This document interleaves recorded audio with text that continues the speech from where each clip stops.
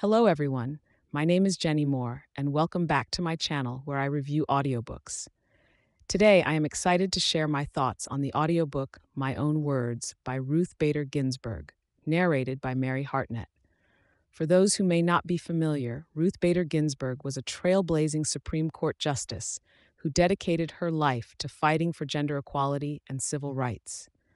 This audiobook is a collection of her speeches, writings, and opinions, giving listeners a deeper insight into her brilliant mind and unwavering determination. Firstly, I have to commend Mary Hartnett for her exceptional narration. She captures the essence of Ruth Bader Ginsburg's voice and delivers her words with such passion and conviction. It truly feels like you are listening to Justice Ginsburg herself. The content of this audiobook is thought provoking and inspiring. Justice Ginsburg's words are powerful, and her message of equality and justice for all is as relevant today as it was when she first spoke them.